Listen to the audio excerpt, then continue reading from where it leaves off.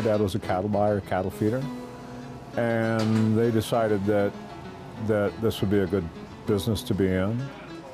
Well, we tried to make a living in the beef pork industry in the early 80s, and we did a little bit of buffalo business. But then as you realized it was tough to make a living in the beef and the pork industry, I mean, there was really no place for us. And then we started to do more buffalo, and we realized that was a good place for us. In the beef and the pork industry, there's not a lot of connect between the, the packers and the producers. In the buffalo industry, you're good friends. You know each other. They want you to be successful. There's enough animals within 250 miles of Rapid City to keep this plant busy. We work with Mimi down at the 777. We work with Custer State Park. We work with all the tribes. You know, I don't know that you can get more than 40 miles away from a buffalo ranch in South Dakota in the entire state. So we try to work with all of them, big and little.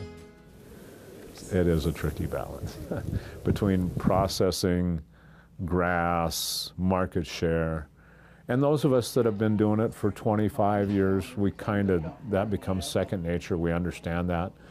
Sometimes you bump into customers that it's like, well, just raise some more. And it's like, oh, well, it would be nice, but it doesn't happen fast.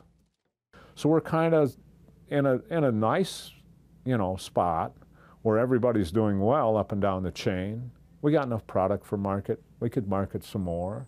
It's more of a 20-year cycle, and it's dependent a lot on rain. We need rain. We need two, three, four good years in a row to establish enough ground and enough grass for a guy to get a heifer calf up to the point where she's having calves. Well, right now, there's a tremendous demand for ground buffalo, but that's mainly because Costco has taken the product on and some other bigger marketers, and that product, its price point, the way it sells, can be driven through a Costco. Some of the steak items are more popular, and if you could get them to the price point where they would turn at a Costco, then we'd be tremendously short on them. But right now, ground buffalo is driving the industry. We have an iconic animal. I mean, you can show a silhouette of a buffalo to anybody in the United States and they'll tell you what it is. So you have all these things, and I liken them to logs on the fire. And we're, we're working hard to keep the fire burning. And we will go into expansion. We won't stay stagnant forever.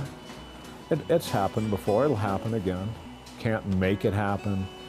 The, the dominoes, the stars align, and you expand. So we'll get there someday.